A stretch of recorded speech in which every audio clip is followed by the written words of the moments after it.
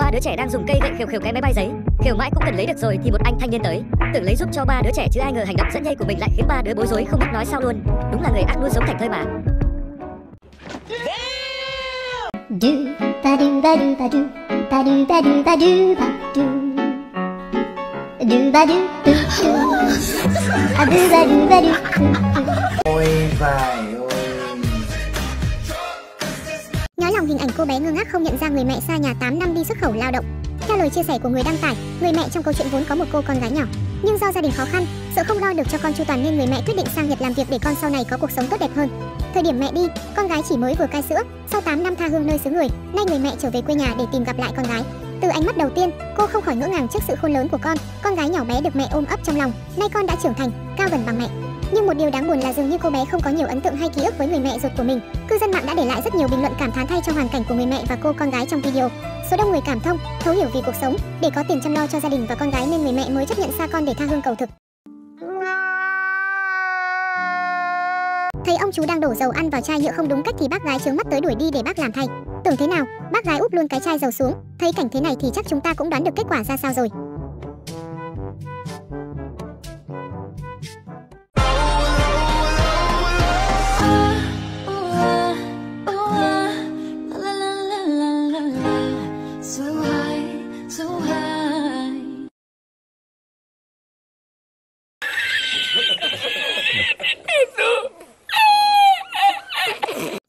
Nhiều trang Trung Quốc mắc lỗi hậu kỳ khá buồn cười khi để lọt sản phẩm hiện đại hoặc nhân viên vào khung hình.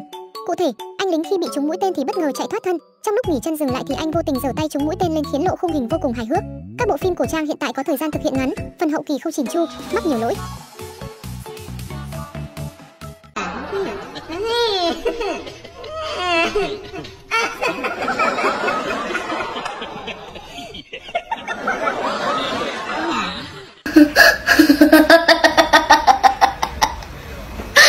Hai bắt chước dáng đi của cụ khiến đấy không thể nhịn được cười. Nhắc tới các bé không thể kể hết các trò nghịch ngợm đáng yêu mà siêu hài hước của chúng. Và mới đây khoảnh khắc ghi lại hình ảnh đứa cháu thấy bà còng lưng đi bộ cũng nhanh nhảu bắt chước không trượt phát nào khiến dân mạng không khỏi phì cười. Thấy cụ bà tuổi đã cao phải chống gậy, cô con cũng liền học theo chắp tay sau lưng đi còng còng không khác gì bà, nhìn mà cưng hết nhất đúng kiểu không khịa bà tí nào luôn. Còn bà thì rất vui vẻ trước hành động đáng yêu của cháu trai. Nhìn vào cử chỉ điệu bộ này của bé, ắt hẳn đây không phải lần đầu tiên bắt chước bà. Xong, dù không biết đây là lần thứ mấy, nhưng nhìn vào nụ cười thơ ngây mà dáng đi thì già dặn, quả thật không thể nào không yêu cho được. Đúng là có đứa cháu mắt lòng mắt dạ. Người đàn ông ngụp lặn dưới sông khi bị thiên nga rượt khiến ai nấy cũng cười ôm bụng. Người đàn ông đang xông tắm giải tỏa cơn nóng ngày hè thì bị hai con thiên nga đen không biết từ đâu lại chạy tới và rượt đuổi như rượt cá tôm. Nhìn người đàn ông bị thiên nga rượt phải ngụp lặn dưới sông để trốn, đám đông đứng trên bờ không nhịn được cười.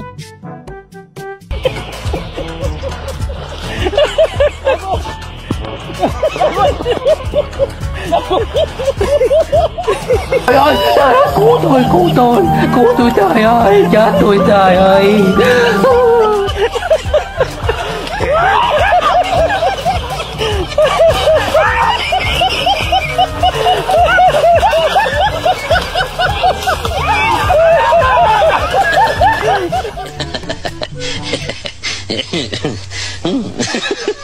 bò trèo trên mái nhà hóng gió khiến gia chủ lo sốt vó một chú bò đực chẳng biết bằng cách nào con vật lại trèo lên được mái nhà hóng gió khiến chủ đuổi hụt hơi nhưng vẫn bất thành. Đáng chú ý là mái nhà làm bằng tôn mà chú bò chạy long long trên đất thì kiểu này gia chủ phải tốn mớ tiền mua mấy tấm khắc về lập chứ không trời mưa thì ngủ sao được.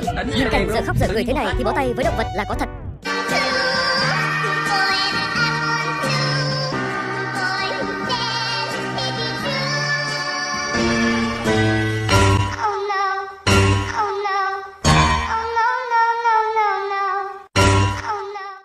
Oh no. Cá voi trắng có cùng họ với cá voi lưng gù. Cá voi sát thủ. Dòng cá voi này có lớp sắc thể trên da màu trắng, khác biệt hoàn toàn so với những dòng cá voi khác. Cá voi trắng không chỉ có màu sắc đặc biệt mà chúng còn vô cùng thông minh. Chính vì những đặc tính này mà chúng đã trở thành nguồn cảm hứng để tạo nên những cuốn tiểu thuyết và những bộ phim bom tấn. Nhưng sao cá voi trắng này lại thích dọa người khác thế nhở hở xíu là lại há mồm to khoe răng xuống dọa dẫm người khác không à? Từ trẻ nhỏ tới người lớn, ai thì cũng không tha. Có khi dọa làm bé té ngã luôn mới ghê cá voi trắng khi mới sinh ra sẽ có màu xám như bình thường. Sau khi trưởng thành, màu da của chúng mới chuyển thành trắng.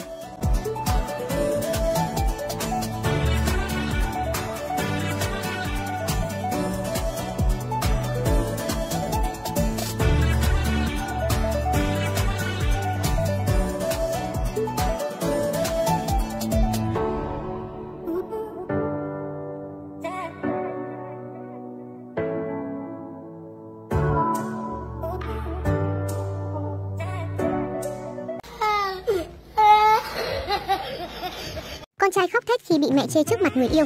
Quen bạn gái đã lâu và lần đầu dắt về giới thiệu con dâu tương lai cho mẹ chồng nhưng anh chàng ngờ đâu mẹ mình lại chê mình vừa đen, vừa lùn lại vừa xấu khiến cho cô gái cười tít mắt. Khi mẹ tôi lần đầu gặp con dâu tương lai, Nó lùn vừa xấu vừa đen. Nhưng mà yêu được. Ở kìa mẹ, sao mẹ chê người yêu con thế nhỉ? Kia nó vừa xấu vừa đen. Thế mà mày yêu nó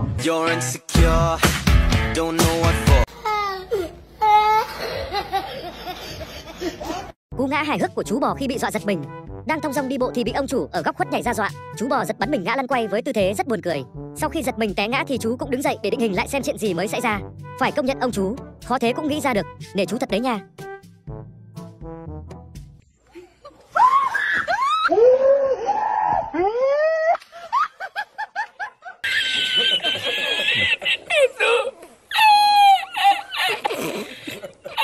Chú chó trượt ván điêu luyện gây bão mạng. Chú chó gây bão mạng nhờ tài năng triệt ván điêu luyện của mình khiến chủ nhân cũng bất ngờ khi mà trước đây chú cũng chưa triệt ván bao giờ. Dù đang lướt ván trên phần đường dành cho người đi bộ, lòng đường hẹp nhưng chú chó vẫn không bị văng ra ngoài. Đặc biệt nhất, chú cún còn có thể điều khiển ván trượt để tránh chướng ngại vật và rẽ sang đường khác trông rất ngầu.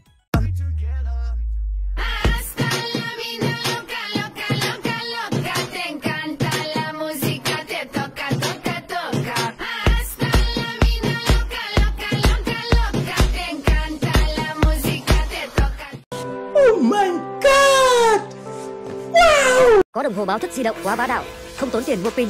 Mỗi nhà đều có đồng hồ báo thức riêng của mình. Nhà anh thanh niên này cũng thế. Sáng sáng cần có người báo thức mình dậy đi làm. Vì thế anh đã nuôi một chú hà trống để báo thức mình dậy. Và thế là nhà có đồng hồ báo thức chạy bằng tóc uy tín thế thì không lo chơi giờ làm rồi.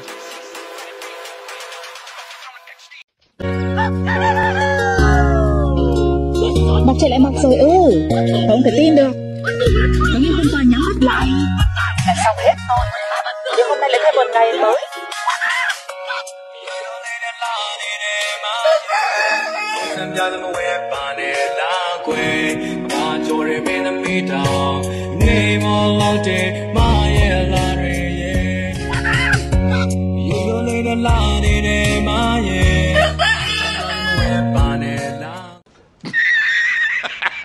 Thiếu nữ ngã khi tạo dáng bên hồ sen khiến ai nấy không thể nhịn được cười.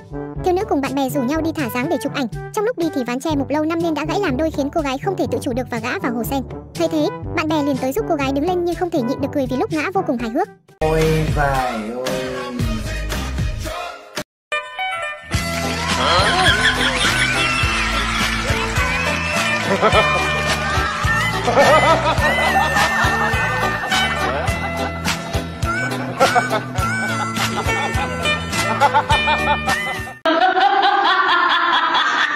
Hưa cúi đầu cảm ơn bé gái. Đoạn clip ghi lại cảnh được bé gái cho ăn. Hưa cúi đầu cảm ơn bé gái liên tục. Rất nhiều người bày tỏ sự ngạc nhiên và thích thú trước hành động kỳ lạ của chú Hương. Trong video, chú Hương được cô bé cho ăn, nó lại cúi đầu cảm tạ cô bé. Sự việc chỉ kéo dài vài giây nhưng mang lại cho người xem một cảm xúc rất đặc biệt. Rồi ghê chưa Ghê ghê ghê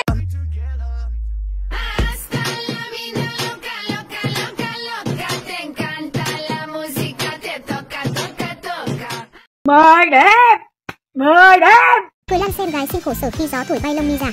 Gắn lông mi giả quá dài, cô gái không lường tới hậu quả tai hại khi đang đi xe máy thì gặp cơn gió quá mạnh.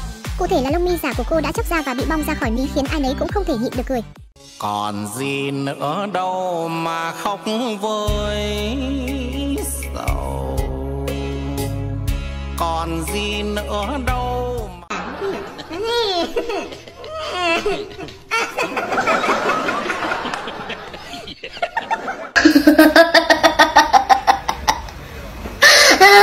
Cười bo trước màn rất dâu như đi thỉnh kinh của nhà trai, sau này cãi nhau muốn bỏ thì nhớ lại hôm nay mà nhịn.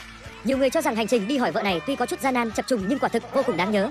Nhìn chán những đám cưới ấn tượng bằng siêu xe, trực thăng, thậm chí là cần cầu, nhưng có lẽ chưa có một màn nào lại khiến dân tình phải cười lăn cười bò như màn rất dâu gập ghềnh đang viral trên mạng xã hội dưới đây cả. Theo bài đăng được chia sẻ trên một diễn đàn mạng nổi tiếng, hình ảnh đón dâu mà cả nhà trai phải gian nan trèo dựng lội sông này được ví chẳng khác nào đi thỉnh kinh của thầy trò đường tăng trong Tây Du Ký. Nhà trai phải băng qua đường gô ghề, cánh đồng lúa, rồi bê lễ bơi qua sông mới đến được nhà gái. Oh khiến khán giả và loạt sao Việt Ume, nhan sắc của Mỹ Tâm tại Việt Nam Idol 2023 lên top 1 tìm kiếm Google. Trong tập mở màn cuộc thi Việt Nam Idol 2023, nhan sắc của Mỹ Tâm gây sốt cộng đồng mạng. Nữ ca sĩ được khán giả dành nhiều lời khen có cánh về nhan sắc như bị thời gian bỏ quên. Chỉ ngồi ghế giám khảo nghe thí sinh hát, Mỹ Tâm có loạt khoảnh khắc khiến người xem mê mẩn. Không chỉ khán giả, nhiều sao Việt cũng ngẩn ngơ trước nhan sắc của chị đẹp. Đức Phúc đăng tải hình ảnh của Mỹ Tâm và bày tỏ, xem xong tập 1 Việt Nam Idol, trong đầu tôi kiểu tôi yêu mấy cô của tôi quá rồi. Diệu Nhi cũng phải lên tiếng thừa nhận là big fan của nàng họa mi tóc nâu. Sau khi xem xong Việt Nam Idol, bà xã anh Tú tiết lộ bị mất ngủ. Chị ơi xinh quá, tối qua em coi xong không ngủ được vì chết chìm trong nhan sắc và sự đáng yêu của chị. Có khán giả nhận xét, sự xuất hiện của Mỹ Tâm ở ghế giám khảo đã làm lu mờ hết dàn thí sinh. Trên trang cá nhân, cô chia sẻ nhiều khoảnh khắc của chính mình và hình ảnh của Mỹ Tâm cũng lên top một tìm kiếm trên Google càng khẳng định sức hút khủng của Mỹ Tâm. Giật mình bật dậy sau tiếng sấm, thấy em nhỏ đang la khóc trong khi mẹ ngủ quên, cậu bé có hành động khiến ai cũng phải ngỡ ngàng. Cư dân mạng mới đây đã phát sốt với đoạn clip ngắn ghi lại khoảnh khắc siêu đáng yêu của cậu bé khi đang nằm ngủ cùng mẹ và em nhỏ sơ sinh. Cụ thể, từ hình ảnh trong đoạn clip do camera ghi lại, ba mẹ con đang nằm ngủ trên giường, cậu bé một mình nằm ở giường phụ, cách xa mẹ và em nhỏ mới sinh. Có lẽ vì quá mệt mỏi nên dù tiếng sấm rất to nhưng người mẹ vẫn không hề có dấu hiệu thức giấc trong khi hai đứa con của cô đều bất ngờ giật mình. Cậu nhóc lớn thì tỉnh lại với gương mặt hoảng hốt, còn em bé sơ sinh thì khóc ré lên. Điều khiến người xem ngỡ ngàng nhất là anh trai không hề khóc mếu, cũng chẳng gọi mẹ dậy mà lập tức thay mẹ chạy đến dỗ dành em. Chỉ sau một lúc, em nhỏ đã đi vào giấc ngủ trở lại. Ngay sau khi xuất hiện trên mạng xã hội, đoạn clip lập tức trở nên viral, nhận được nhiều sự quan tâm của cộng đồng mạng. Ai nấy đều tỏ ra thích thú trước hành động đáng yêu và ý nghĩa của bé trai.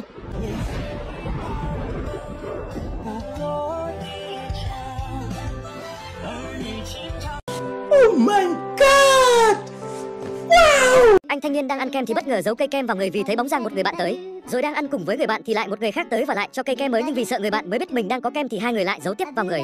Việc giấu nhiều cây kem quá khiến anh chàng bắt đầu có biểu hiện lạnh run người. Đúng là tham lam thì luôn khác.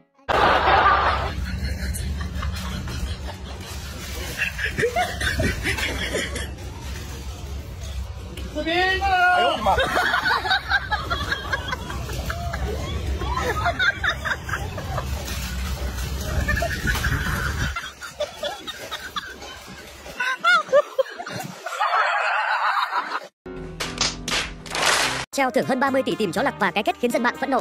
Ngày 9 tháng 7 vừa qua, người đàn ông họ Dương ở Trịnh Châu, tỉnh Hà Nam, Trung Quốc đang thông báo cho biết chú chó cưng tên Thiên Lang bị lạc khi đi dọc sông Hồ Nam ở khu vực Bắc Long. Anh Dương cho biết thêm, Thiên Lang vốn là một chú chó trong quân ngũ, nay 8,5 tuổi và đã về hưu. Nó từng lập công lớn khi làm nhiệm vụ. Nếu cung cấp được thông tin có giá trị, người đó sẽ được thưởng 2 triệu nhân dân tệ khoảng gần 6,4 tỷ đồng. Đặc biệt, nếu Thiên Lang được tìm thấy và trả lại an toàn, người có công sẽ nhận được phần thưởng trị giá 10 triệu nhân dân tệ tương đương 32,6 tỷ đồng. Trước món tiền treo thưởng hấp dẫn, rất nhiều người dân địa phương đã tham gia vào hoạt động tìm kiếm. Các phương tiện truyền thông địa phương cũng vào cuộc. Tuy nhiên, khi đến hỏi trung tâm nhận nuôi động vật y lạc thành phố Trịnh Châu, họ mới biết chú chó Thiên Lang đã được tìm thấy. Anh Dương đã đưa nó về nhà. Song điều khiến dư luận bức xúc là tuy công bố treo thưởng 10 triệu nhân dân tệ, thực tế anh Dương chỉ trả 5.000 nhân dân tệ tương đương 16,3 triệu đồng cho người tìm được chú chó. Sau khi tin tức được phơi bày, nhiều cư dân mạng lên tiếng chỉ trích hành động của anh Dương. Vỡ mộng vì ôm vé Blackpink tại Hà Nội, nhiều người kêu cứu vì bán cắt lỗ vẫn không ai mua. Trái ngược với không khí cả trăm ngàn người xếp hàng chờ mua vé ngày mở bán vé hai đêm concert Blackpink tại Việt Nam hôm 7 tháng 7. Hiện trên cổng bán vé chính thức Ticketbox người hâm mộ vẫn có thể đặt mua dễ dàng, chủ yếu là hạng vé có giá tiền dao động từ 5,8 triệu đồng đến 7,8 triệu đồng. Dù người hâm mộ liên tục tranh cãi vì giá vé quá đắt, nhưng hạng VIP với những quyền lợi riêng vẫn cháy hàng ngay từ khi mới mở bán. Ngay sau khi mở bán ít giờ, những người ôm vé số lượng lớn bắt đầu đăng phát vé. Tuy nhiên, lượng người đang bán lại vé quá nhiều so với nhu cầu cần mua gây ra tình trạng ế ẩm. Những ngày sau đó, nhiều người từ bỏ việc bán trên hơn giá gốc kiếm lời, họ bắt lại nguyên giá mong gỡ lại vốn nhưng tình hình cũng không khả quan hơn. Thế nhưng, khán giả có quyền chọn phương thức an toàn và nhanh gọn hơn vì họ có thể tự mua trên cổng bán vé chính thức. Vé được phát hành dưới dạng điện tử, quét mã QR khi vào sân nên chỉ khi nào website của ban tổ chức hết vé, khán giả mới chấp nhận rủi ro mua từ phe vé. Thực tế không ít người bị lừa do người bán dùng một mã QR để bán cho rất nhiều người, khiến họ đến cổng soát vé mới biết mình bị lừa. Hiện tại, hàng trăm người bán vé đang đối mặt với nguy cơ lỗ nặng, tồn vé vì cuộc đua giành vé dần hạ nhiệt. Nhiều người chấp nhận bán lỗ để gỡ gạc, thậm chí nhận trả góp không tính lãi. Công nông chổng vó lên trời chỉ vì chở quá tải khi lên dốc. Cư dân mạng mới đây chia sẻ một đoạn video hài hước về hình ảnh chiếc công nông trộn bê tông đến khu vực xây dựng. Tuy nhiên do phần trộn cùng khối bê tông quá nặng, cộng với con dốc lên vỉa hè hơi cao, nên khi người điều khiển đến khu vực thì gặp sự cố bật ngửa lên trời. Hậu quả, cả lượng lớn bê tông bị đổ tràn ra đường trong khi chiếc xe bị tùng bê với người tài xế bên trên.